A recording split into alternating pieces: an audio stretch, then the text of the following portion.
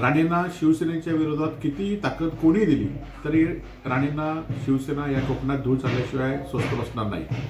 खरं तर याआधी सुद्धा सोनिया गांधींनी च्या माध्यमातून राणेंनी सांगितलं होतं की मी शिवसेना संपवेन शिवसेना अरबी समुद्रात बुडवेन परंतु त्यावेळी सुद्धा राणेंना ते जमलं नाही.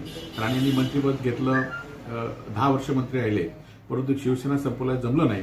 या उलट या शिवसेने या शिवसेनेने सगळे आमदार कोकणातनं शिवसेनेचे निवडून दिले. कालच्या विधानसभा निवडणुकीमध्ये सुद्धा आज भारतीय जनता पक्षाचे नेते सांगतायत अमित शहा सांगतायत की आम्ही समोरनं वार करू. परंतु या कोकणामध्ये संपूर्ण शिवसेनेच्या विरोधात सगळे उमेदवार उभे करण्याचं काम भाजपने केलं होतं.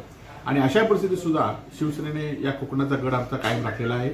उद्धवजींचं काम आणि बाळासाहेब ठाकरेंचा आशीर्वाद या कोकणातली शिवसैनिकांना आहे.